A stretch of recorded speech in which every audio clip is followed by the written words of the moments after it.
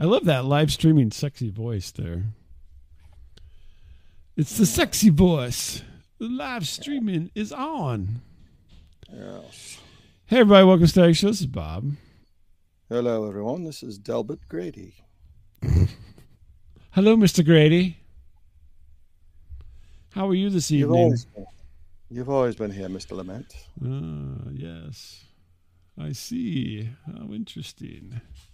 Yes. Do you want to hum a few bars of that song you were playing? What was that? Uh, I uh, had played before the show started some old college music, I suppose, that uh, Bob used to uh, enjoy, and um, okay. it would not fit, I don't think, with the Plauzzable. Um, Oh, I think it would fit just fine. I would think it would be fine. I don't know if everyone would be down with it. You know what I'm saying? So, Down with the system. It was uh, inhale Einstein, exhale Hitler. uh, yeah, we'll go with that. Yep. So that was it. Inhale song. Einstein, exhale Hitler. That was a good song. Yeah, I can't remember the name of the group though. It was an old independent thing. Uh, frankincense and myrrh or something. like no, no. Well, was that? that. The Kusnotics. The Kusnotics, yes, that's wow. What a good memory you have. I know. It's like yeah, I'm like slowly like slipping away with my memory, but I'm I can remember cursed. I'm cursed. I can remember that, but I cannot remember my first love.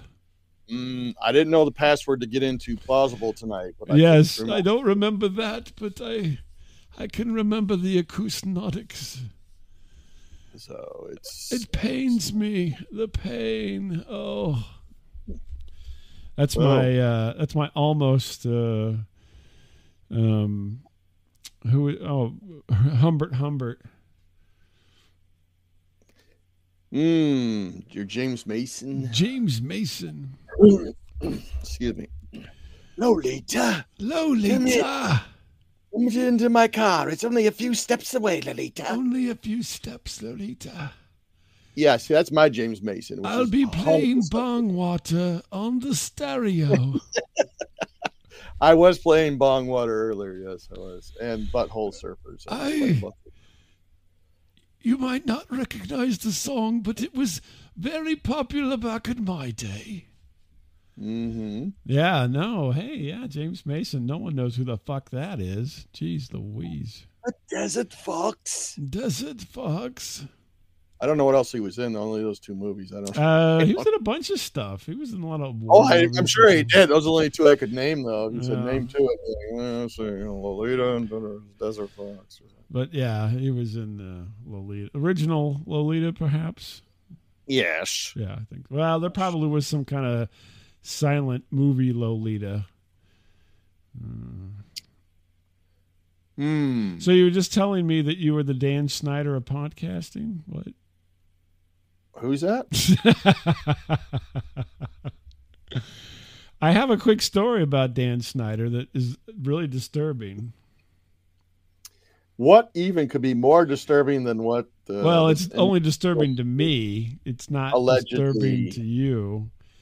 So I've watched that Quiet on the Set, right? And there's a new one out. I haven't watched the new one. I'll watch it. I watched uh, uh, the first couple, two or three. I watched. Oh, there's only four, and there's five now. Just came out, but I watched the first four, and you know, my kids watched all those shows because they were that age when it Yeah. whenever it came out, you know, and there was, Yeah. was allegations even back then of all this that I can recall, um, and it just makes it all the more you know skeevier when you watch Yeah. it.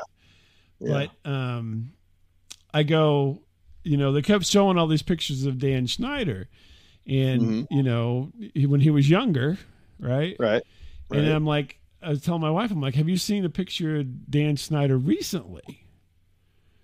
And she goes, no. And I go, here, I'll, I'll show you. Here's a picture of him. So I, I bring up a picture of Dan Schneider 2024, and I go, God, doesn't he look old?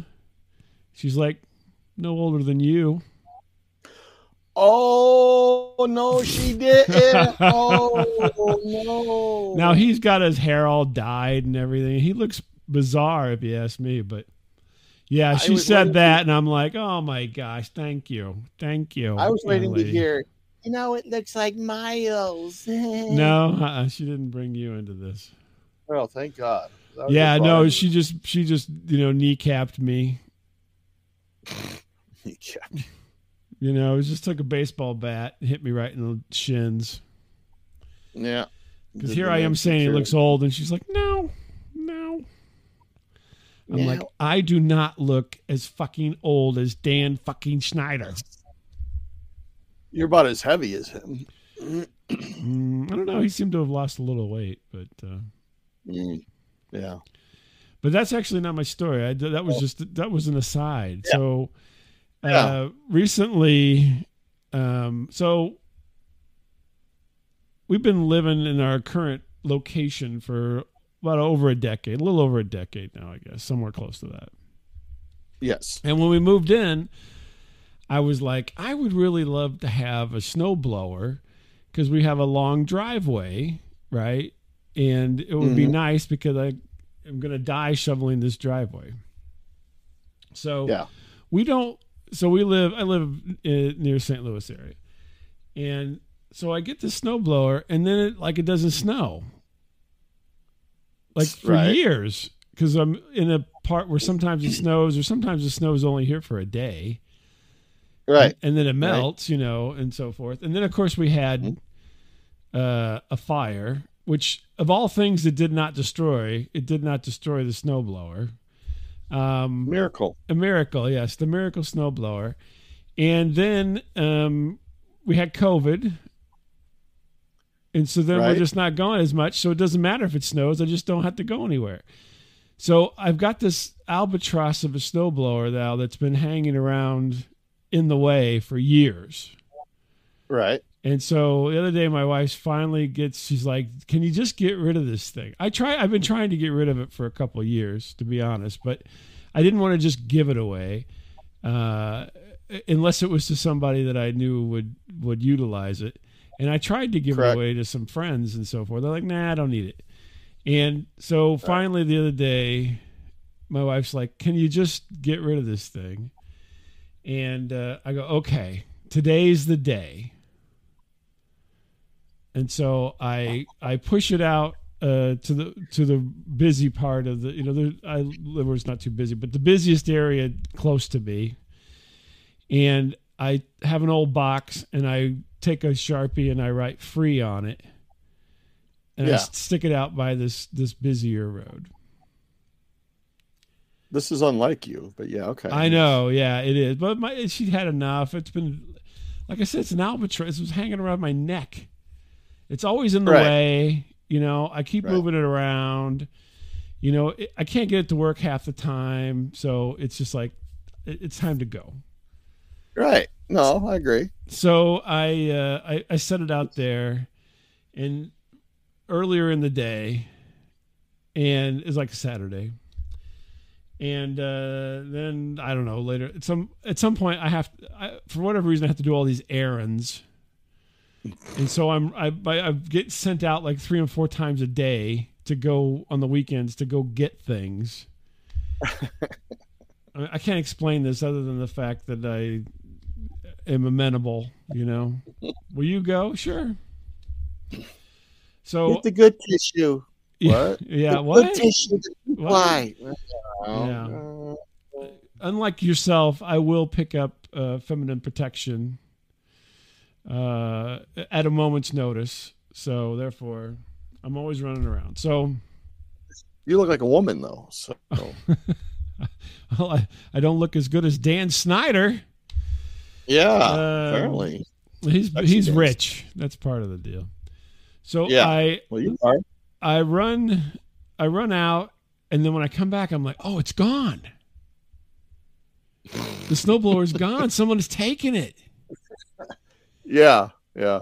And I was so happy. I'm like, "It's gone. It's finally gone." You know, it's like uh, it's like I gave away a possessed item or something, Annabelle or, you know, uh, what was that little sailor guy on Ozzy uh, Ozzy Osbourne's show? Um, uh, like it's finally gone, and so then I, I come in, I tell my wife, you know, I'm like, hey, that somebody took it, And she's like, "Oh, that's great," you know. And I go, and they didn't even leave the free sign, which I was even. I figured they just chuck the free sign in, in my yard and then just take the Right. snowblower, but they didn't. They took it all. They took it all, which I was surprised by.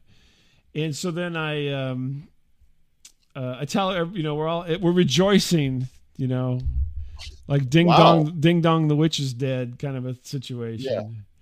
And Now we'll probably get the worst snowfall this year or something. ever, Oh, but- will laugh that happens. Yeah. Yeah. Um, so anyway, so then uh, next day, you know, we celebrated. Everything's going well, and uh, I'm outside grilling because you know I love to grill. you love to grill. You are the grill man. I Yeah. grill. I'll just grill whatever. It doesn't matter, you know.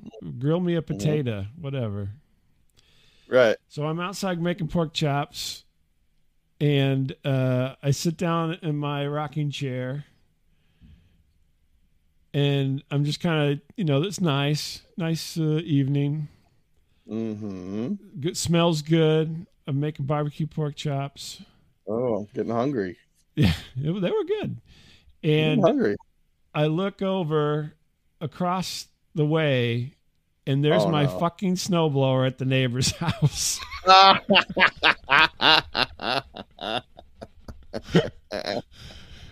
And then I was angry. I was so angry.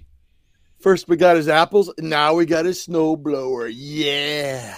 And I'm like, those sons of bitches. I didn't want were- them to have it. I wanted it some nameless freak to get it, you know, who drove by Yeah. and threw it in their truck. Oh, they're laughing at you.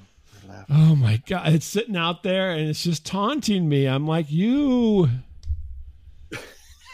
The guy's out there polishing it up. You know, Yeah. I, I was like, I, I'm like, I am un, I, I'm, I'm mad. I wanted to give it away, Yeah. but then I was mad. It's like, oh, bitch. I I don't know. I don't understand these emotions. I, I wanted it to be some nameless, faceless rube who come and got it in his truck. Right? No, Right. it's my neighbor.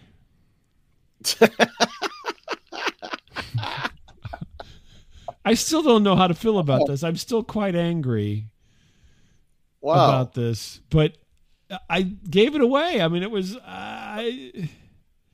I shouldn't be angry. I, maybe I'll have to go for counseling on something like this. I guess I don't know.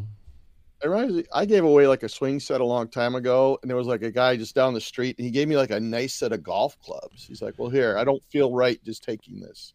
Really? Yeah, I don't think I'm Yeah. getting anything from this cheap son of a bitch. Yeah, this is a story I did many, many years ago. Yeah, this guy's Mm. like just loaded with golf equipment. He's like, "Here, go ahead." Here, I stole this." these from Chi Chi Rodriguez. Yeah, I mean his whole garage, nothing but golf bags. Really? clubs. Yeah. Anyway, so Well. I, I'm not getting anything, I don't think. It's just taunting me in my line of sight. you pull a Larry David to just like walk over there, like, "Hey, listen, uh, Hey, that wasn't for you. That was for that was for the world, not for the neighbor. you kind of owe me, you know. I mean, that wasn't you know cheap. That was Yeah, like a nice. uh, that was a nice snowblower. It was a craftsman. I, you need to send this into Larry David immediately. He's done. He finished. It's over. Curb's over. Oh man, this sounds like a complete Larry David setup. man. We've been doing Curb for 25 years. He only did it for 24. So yeah, right, yeah. That's funny. You owe me. You people owe me. I can't, I don't understand why I'm so angry about this. I, I Do you It's know just one of those people? Ah, you know, as much as I don't talk to people, so I know them as much as I know anybody. I mean, I was like, I waved to him like when I drive by. yeah, I wave at everybody. I'm very polite. I'm just not very, uh, you Yeah, know, forthcoming. yeah. You know, Yeah, a little bit. Yeah. yeah. Uh, but I'm like, You know, be even better. You go out there. There's like a for sale sign. yeah, yeah. That's what I'm waiting for Oh. next. He's gonna put it back out where I put it, and he's gonna put, you know, 125 dollars. I'll be like, son of a bitch. No, it'd be like if you had like five hundred dollars on it, and you see like some dudes bringing them cash. You're like, Yeah. oh, Don't buy it. It's shit. no, he's a lying son of a bitch. You owe me. I get 75% of that. I'm gonna check Marketplace on Facebook right now. yeah, really, no kidding. They'll Down be like, there, like St. Louis, barely, barely used ten year old snowblower. Let's look under University Park there and see if we can find it. Mhm, Yeah. I, it just, I don't know why. I'm just so angry about that. That is weird. That is weird. It it That is, is weird, weird. There you are, son of a bitch. But my, my pork chops were still pretty good. So, Yeah, but it They're- it didn't it didn't tampen the pain of knowing that my cheap son of a bitch neighbors took that snowblower. the pork chops were a little salty with your tears. It sounds like. And, uh, Yeah, oh, I was more angry than sad. yeah. what did your wife say? She laughed. She's like, ah, Yeah, she laughed. ah, you fool, you fool. The worst thing is this is the neighbor who's always mowing his grass, you know, to make everybody else look bad. Yeah. Oh yeah. yeah, I'm surrounded like, by- why? Why are you mowing your? Gr-? There, he's probably mowed his grass about ten times already. I've not even Oh, done for it once. Christ's sake. Oh my god. I'm god. like, you quit mowing your fucking grass. Oh, believe me, I'm surrounded by people like this. Believe me. It's like uh, in Big, you know, Jon Lovitz is like, slow down, slow down. In my neighborhood, it's like nice yard, nice yard, nice yard. Yeah, Miles' yard, nice yard. nice yard. Like I break the chain. You got like, Mr. oh. Miyagi next door. Oh yeah, he yeah, that's all guy. Yeah, he's he's out there with scissors manicuring his yard. oh yeah, he's constantly, constantly. I'm like, ah, these people. And then I, you know, I have to go. Then, of course, you hear about it. You know, you really should mow the grass. Oh, I'm like, why? The neighbors have all mowed their grass. oh my gosh. there's like nothing to mow over here. I'm like, I don't know why people are Ah, barely anything to mow. I mean, people are going nuts. I heard about four or five of them like on Sunday. I'm like, Jesus. Then they blow all the. I don't blow anything with no blowers. I just mow the grass, and that's it. Let let the cuttings fall where they Oh. may. Yeah, I had that two weeks ago. Some jackass or just kept revving that goddamn blower. This goes on for 20 minutes. I'm like, Mhm. Jesus Christ. Like, what in the hell? Please, if this thing blows up and kills them, please, God, just oh God. So what, what's going on with you? I'm just angry. So I was out there selling some stuff. No, I was kidding. I was Um, stealing things from my neighbors. Uh, Yeah, I was driving around looking for free shit. There are junk. There are people that like. yeah, the like, look- junkers. yeah, that's what I was hoping for. Junkyard. Really. um my oldest son i don't really you know we don't i don't know about you i don't like really telling stories like you know second third hand or whatever Right. that haven't Yeah. happened about this i don't know maybe this won't translate well i don't know but uh so uh my oldest son uh works in a uh, like a office building kind of sort of with a bunch of different you know businesses and stuff like that hmm and so it was announced that the uh, authorities would be holding like a practice drill, hmm like an active shooter kind of. Uh, Oh, really? For the whole building? Hmm. Yeah. So I was just kind of preparing people. I kind of saw a little blurb on it. Like, oh, oh. So I Interesting. go, I wonder if my son knows about this. You know, little Miles Jr. You know. They're like, no, he's the shooter. Yeah, my son's a shoot. Yeah, the Texas bell tower. He's yeah, got the crazy eyes. No, I'm just some- joking. Mhm, mhm. Just joking. and uh, and uh, so that day happened, and so he's at work. They know about it, you know, his particular you know area, and uh, so I guess if you hear something going on, the you're whoever's closest to the door is to run and like lock it immediately. Gotcha. Oh, that makes sense. That Right. makes sense. Yeah. I'm like, okay, well, what could go wrong? You know, like okay, and like, uh, what but that's could like go wrong? that's- yeah. that's not like the lobby area though. It's like more like the working area of the office. You know what I'm saying? Mhm. Yeah. Gotcha. So the lobby part is to be left unlocked, but Mm. okay. So uh anyway, so he's working and uh so he's hearing, you know, some, you know, pretend gunfire and you know, people yelling. Oh, they actually He's did like, "Oh, pretend they like have a their phone or something. Yeah, they had blanks and stuff like that. Oh, they had Yeah. actual guns. Yeah. Oh, yeah. Yeah. They were, Oh my yeah. lord, this is uh this is high tech. I thought somebody Well, I mean, they got that like that shotgun app for your phone where you go.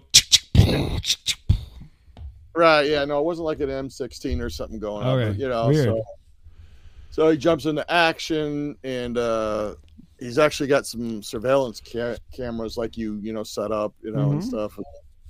He goes, "Okay, well, there's no one in the uh, lobby area, so I'm Hmm. I'm good to go, right?" Yeah. So, yeah, he locks up, and you know they whatever they do after that. And, Always uh, check your six. Yeah, and uh, come to find out, he's locked up the secretary. You just you just signed that woman's death warrant. yeah, basically, next thing you know is he's here, pop pop, like, well, yeah, we got her. Yep. the The cops go, "Stop your hands, motherfucker!" You know, like, oh my god, like he's all freaked out. And then, uh, you know, so the nice. thing ends. So they're critiquing them and they're like, "Well, uh, technically, you did the right thing, but you also of sacrificed Susie here to the shooter." oh my god. he didn't see her though; she was like in a blind spot. You know, wherever she was at, like she was, you know, we're off. Next know, time you ask me if I want coffee. Yeah, right. I'm like, oh my god. So now he's like, um, you know, thinking he's Bert from Aliens. You know, like Ripley. This went bad. You know, it went sideways. Ripley. It went don't know. sideways. Yeah. He's a Paul Reiser. You know, Bert Yeah. character. Bert, you son of a. bitch. He's like, you like- know, you got a case of the Mondays now, Susie. Yeah. So yeah. So yeah. He uh led to the uh, fake death of a coworker. So- Oh, that's terrible. They should have done all the paintballs. That would have been even funnier. Yeah. well, I, yeah. I mean, that sounds fun. Susie, but Susie know. comes walking in. She's all blood All stained from yeah. yeah, paintballs. Yeah. Yeah. I'm like, oh my god. Thanks a lot, Miles Jr. I'm like, you you son of a bitch. You didn't really do that. Yeah, I did. Oh, but I Oh, didn't. wow. Yeah, he didn't think about it. He just like leapt in the action. Like, okay, Yeah. yeah. So Poor uh, gal. Yeah. So Hmm, well, I mean, you know, hey. uh, I I, You know, I know one lesson he learned from his old man. that's right. Save yourself first, son. That's right. I will survive the zombie apocalypse. Look out for number one. That's me. That's it. No Yep. kidding. Yeah. And she good thing she left her purse unattended during that whole time too. I got She's free lunch. yeah, right. Yeah, she's dead. So really, oh, I got a hold of her phone and I did some DoorDash to the office. hmm oh, she had some coupon bucks from the Boy Scouts. Look at cool.